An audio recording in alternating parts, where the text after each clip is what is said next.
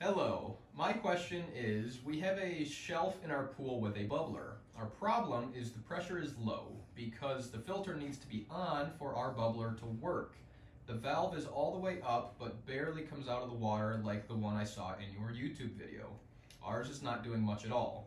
Someone said it is because it isn't on its own pump. Is there a way to fix this problem? We spent a lot of money on the Pentair equipment and I wish someone would have said something about it not getting enough pressure to it when it would be connected to the filter.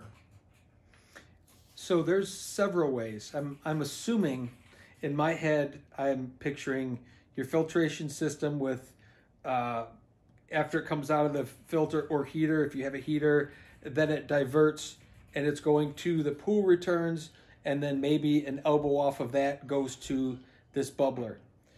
What likely could happen, one of one of a couple fairly simple solutions there's something easy you could do, and then there's something a little more advanced. The easiest solution probably would be to put larger restriction eyeballs or smaller restriction eyeballs on the returns if you have normal returns in the side of the pool. If you restrict those holes down smaller so you're you're putting more back pressure on the system, you'll get more water to come up out of that bubbler because it, it can't push as easily through the, the return jets into the pool. That's the simplest solution. Usually there's two, three, four return jets.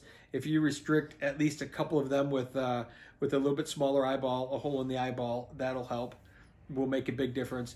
The other possibility would be, depending on how it's plumbed together, there could always put be a three-way valve put in, one going to the bubbler and the others going the other going and going to the return of your pool. And what you could do is you could throttle down the water going back to the pool returns and force more of it to go into the into the bubbler. Uh, short of that, I mean, it should work just fine. It's just a matter of being able to divert the water properly.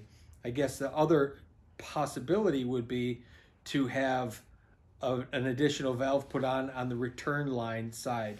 The challenge and the problem with that, and why a lot of pool companies won't do it, is they don't want to give you too many valves to turn for fear of you closing something and restricting the flow to the point where it starts breaking things on the front side of that. So whatever you do, the simplest putting changing the eyeball size will help. The other two solutions, you just have to. The, the second solution with the three-way valve, you can't ever completely screw that one up. But the third option, by putting an additional valve just on the return line, uh, you always run that risk of having both those valves closed when you turn the pump on and causing other issues in the equipment.